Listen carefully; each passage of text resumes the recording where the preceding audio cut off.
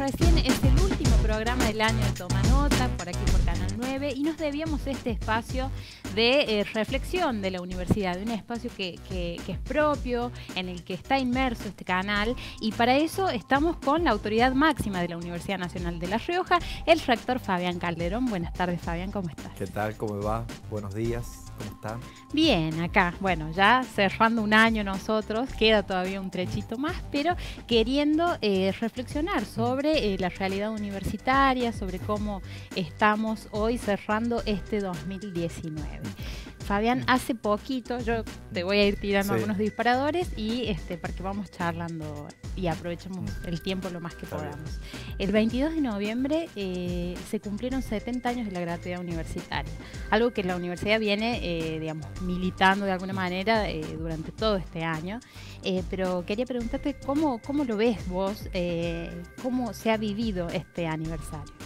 Bueno, la verdad que se vivió con un gran entusiasmo, eh, una gran adhesión en todas las universidades públicas.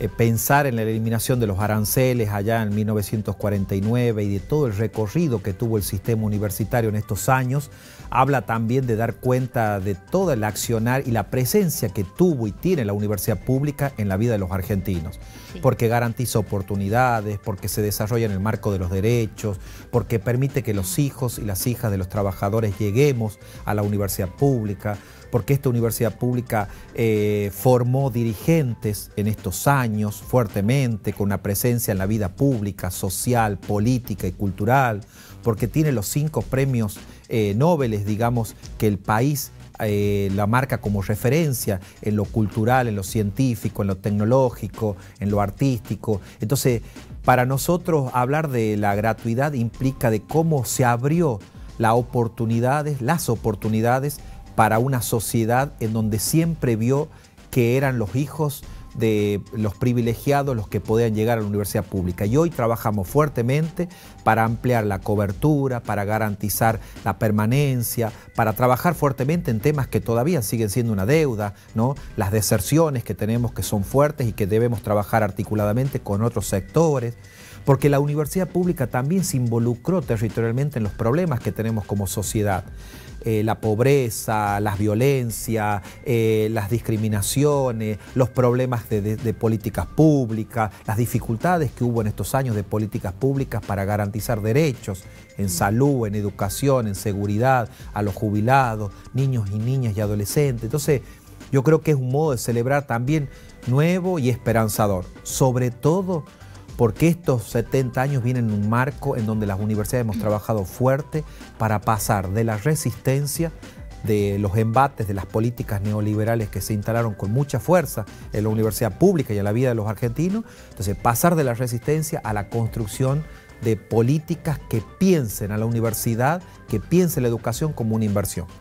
Eh, por ahí, bueno, yo pensaba, ¿no? Cuando, cuando cuando pensaba en esta entrevista y en hablar de gratuidad, digo, eh, lejos de utilizarlo como un cliché, como muchas veces se puede llegar a, pensar, porque hay gente que dice, no, este, pero, pero eso no es gratis, lo mm. pagamos todo. Digo, en las épocas económicas más difíciles es donde más se nota esto de eh, garantizar el acceso a la educación, ¿no? El, el, concepto de gratuidad como que toma otro sentido, ¿no? Sí, sí, así es. Y esto ha pasado, porque en estos años difíciles, en donde muchos eh, ciudadanos iban perdiendo su fuente de trabajo, donde se devaluaban los presupuestos, se devaluó la vida de los argentinos, el peso, la moneda. Fíjense en que nosotros hemos ampliado y hemos crecido en cobertura. Este año la UNLAR, un récord histórico, más de 11.000 estudiantes que vinieron a cursar sus estudios, tanto en la capital como en el interior. Eh, hemos ampliado también la mirada territorial, mayor involucramiento, nuestros jóvenes están en los merenderos, en los territorios, con actividades solidarias en las actividades de salud, en prevención. Digo, también eso habla de cómo los universitarios en este año y en estos años difíciles hemos tenido una respuesta de acompañamiento a nuestra población, porque también nosotros nos hemos sentido vulnerables. El sistema universitario se vio vulnerable cuando perdimos presupuesto, nos devaluaron, no pudimos completar muchas de las coberturas que nosotros tenemos de beca, estudiantes, graduados, a los docentes, a los no docentes, donde no pudimos cumplir gran parte de la expectativa que tenía la comunidad de los trabajadores. Entonces, creo que hoy eh, tenemos una gran expectativa y una puesta, una proyección de un nuevo tiempo que se va a venir en la Argentina y especialmente en la educación pública y en la universidad pública. Precisamente eh, de eso quería hablar también. Eh, bueno, estamos prontos a un cambio de autoridades a nivel nacional. la universidad ha venido, digamos, con problemas presupuestarios este último tiempo, también, digamos, con, un cierto por ahí confrontamiento con las autoridades nacionales. Em, ¿Cómo pensás que va a ser esta dinámica entre las universidades y el gobierno que va a asumir de Alberto Fernández? Bueno, en primer lugar, nosotros estamos convencidos de que va a haber un diálogo diferente, porque quienes van a asumir o vayan a asumir en un Ministerio de Educación, en una Secretaría Política Universitaria, conocen la realidad, eh, han tenido diálogos y hemos tenido diálogo en este tiempo.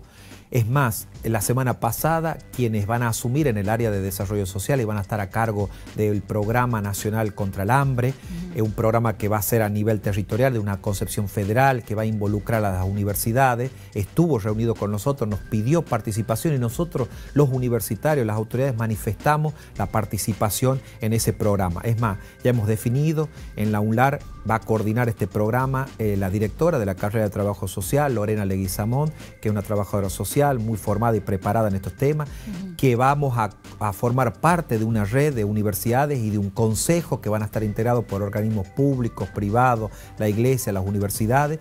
Eso ya habla de cómo las universidades vamos a volver a estar a participar en políticas públicas, vamos a acercar recursos, miradas y propuestas. Y entonces creo que ese lugar va a haber una expectativa distinta. Y en lo presupuestario también, porque ya estamos hablando de volver a, pensar en la inversión en la universidad pública, en los proyectos de innovación, de tecnología, proyectos culturales, académicos, a poner en valor las obras que necesitamos, que están inconclusas, que quedaron paralizadas, los edificios que necesitamos y que necesitan las universidades y sobre todo acompañar también a los trabajadores y a las trabajadoras de la universidad pública en lo que hace a la formación, las capacitaciones y las reivindicaciones que tanto han estado planteando en este tiempo. Bueno, vamos con eso logros del último mm. tiempo en la UNLAR particularmente y este, algunas cosas que se deben ajustar para lo que viene. Bueno, en primer lugar, nosotros en estos años difíciles hemos buscado a través de todas nuestras estrategias y miradas y los presupuestos es acompañar a los trabajadores. Hemos resuelto el problema del hospital universitario, venimos resolviendo el tema de las carreras, el tema tanto de las carreras de capital como también de las sedes y delegaciones. Hemos articulado también todo un trabajo con los gobiernos locales, con los municipios. Hemos avanzado en la capacitación, en la formación en oficio. Y algo que hemos logrado, digamos, en, estos días, hoy, digamos, en, estos días, en el acuerdo con la paritaria, es volver a instalar la discusión de las paritarias con los trabajadores docentes y no docentes. En el tema de los no docentes, hemos firmado una paritaria en este día lunes, en el cual les permite a aquellos trabajadores que les faltan 10 años para jubilarse, contar con un adicional que mejore sus condiciones para que cuando lleguen a jubilarse estén muchos mejores eh, por el ingreso que van a tener y que les va a permitir tener una jubilación digna. Pero también hemos habilitado el llamado a concurso, algo que en estos tiempos no lo pudimos hacer por cuestiones presupuestarias. Tenemos las reglamentaciones, habíamos avanzado en mejorar algunos trabajadores que están subrogando algunas categorías, pero hemos querido que realmente esto sea un beneficio para los trabajadores y es una expectativa para cumplir en los próximos años. Lo mismo que también vamos a llevar adelante las paritarias con los trabajadores docentes, donde hay una demanda de eh, involucrar a más trabajadores docentes en la carrera docente.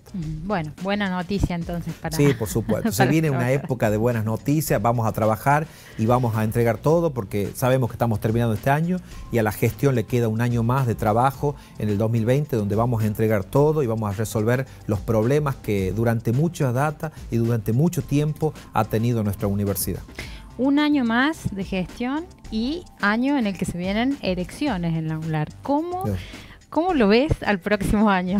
Bueno, yo lo, yo lo, veo como muy trabajando fuertemente.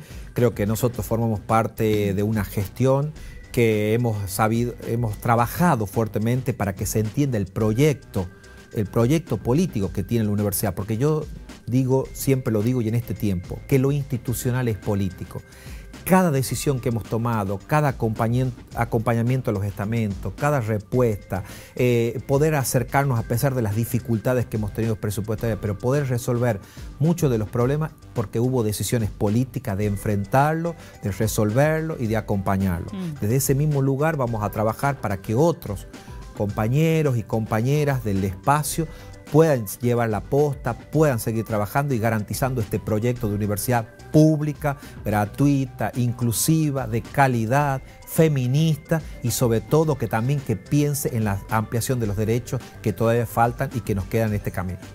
Muy bien, muchísimas gracias por, por este ratito, Fabián. Ya se nos termina el tiempo, pero ha sido muy valioso poder reflexionar y analizar la situación de la universidad con vos aquí. Muchísimas gracias por acompañarnos. Muchas gracias. Espero que hayan pasado un lindo día los trabajadores y las trabajadoras no docentes y que, bueno, y que trabajemos fuertemente para tener unas buenas fiestas como nos merecemos los riojanos, los argentinos y los latinoamericanos que están pasando un momento muy difícil. Así es. Bueno, muchas gracias por estar acá. Vamos a una pausa y volvemos con Delphi Fausone y un informe en el espacio joven sobre comedia musical. Ya volvemos.